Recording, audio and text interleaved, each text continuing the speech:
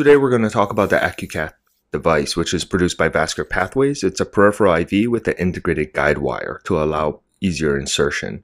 Here you see a diagram that shows a longer handle, which is your needle safety device with the actuation button to retract the needle with a spring. You see the slider to extend the wire, the catheter, and the catheter hub. This device image shows you that the slider, as you advance it towards the catheter, extends the wire. As you slide it back, it will retract the wire. This is what the device looks like with the needle safety portion, the grip, the catheter, the needle, and the wire partially extended. The wire is a coil tip wire for a soft end so that you can thread that wire easily through valves and not puncture the posterior wall as opposed to a straight tip wire or a J tip wire. Once that wire is extended into the vessel, you're able to slide the catheter off the needle and along the wire into the vessel. The catheter itself is a normal looking IV type catheter. It is pressure injectable and the hubs are colored for size matching like usual IVs we're stocking the 18 gauge 2.25 inch catheter and the 20 gauge 2.25 inch catheter. There are other sizes available, but these are the common ones we're stocking. This is what the device looks like in its packaging out of the box.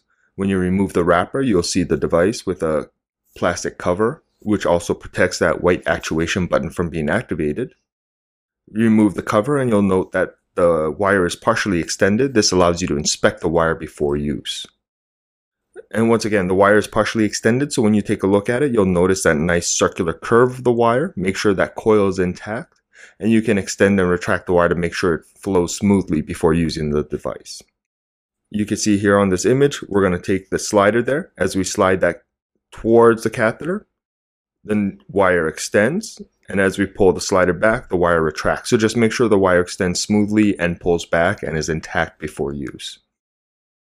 Close up will show as the wire extends, it forms a little curl and then extends out. And then as you pull it back, the wire retracts and the curl straightens out and retracts back into the device proximal to the needle tip. This is what the device looks like once you take it out of the packaging and take off the cover. Remember, the wire is partially extended so you can inspect the coil, make sure the wire threads smoothly, and then retract it so you can use the device. And there's also the actuation button there, which is white.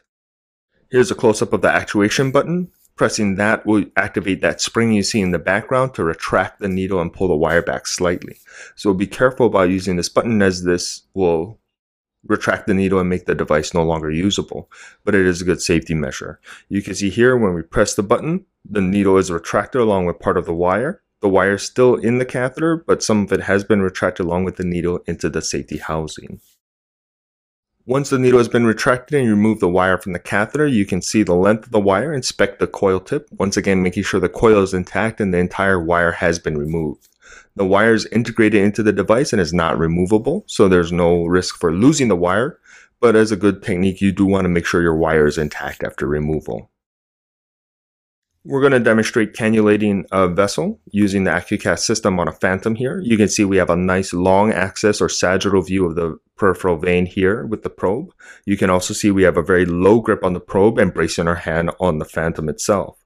What we're going to do is we're going to take the catheter, which we're holding in a pencil type grip, so that we can avoid accidentally pressing the actuation button we're going to do our slight rocking motion so we can line up our IV with the seam of the probe for good visualization and using in plane needle guidance technique in real time, we're going to advance that needle tip under direct visualization with ultrasound through the soft tissue, through the anterior wall without puncturing the posterior wall. Under ultrasound, you're going to see this vessel in a nice sagittal plane. We're going to advance our catheter, watching that tip advance through the anterior wall without puncture the posterior wall.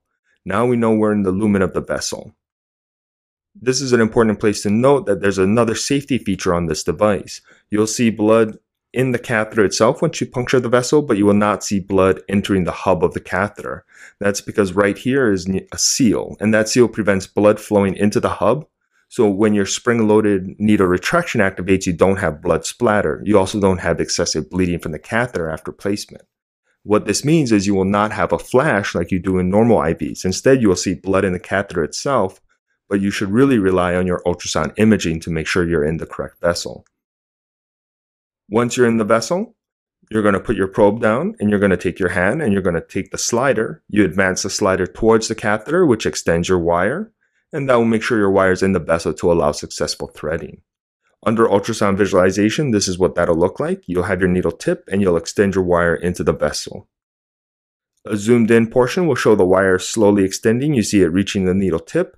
It starts to form that coil and then it extends out as you advance the slider more. Looking at everything in one motion, you're going to have your lift, you're going to puncture the skin, and you're going to advance that needle under ultrasound guidance through the anterior wall into the lumen of the vessel, making sure you're not through the back wall, and then extend your wire into the lumen. Once the wire has been extended, this is your safety step. You want to take your probe and look at the wire. Make sure the wire is within the vessel, it has not punctured the posterior wall, and it is not curled within it. This will allow you to thread the catheter over the wire successfully. Under ultrasound visualization, you'll see your wire in the vessel. You'll see it exiting the needle and layering against the back wall, or sometimes within the lumen itself. But you want to make sure the wire is not going through the back wall and not curled or kinked within the vessel itself. And this will allow you to thread your catheter over that wire. Once your wire has been extended and confirmed within the vessel, what you're going to do is you're going to take the catheter and you're going to slide it over the needle and the wire into the vessel itself to the depth you need to, full depth. You're then going to press the actuation button to retract your needle. You can then remove the wire at that point. In the demonstration, we rotate the needle. You don't have to do that. That's purely so that the hands are not in the way as we activate the actuation button. This is the actuation button here. And remember, when you press that button, the spring will retract the needle and the wire slightly withdrawn. There's still wire within the catheter itself. You're, and remember, once the catheter is in place, there will be blood flow in the catheter, but not at the needle hub. So when you actually look at the catheter in place after retracting your wire, you will not see blood flow. And that's because of that seal.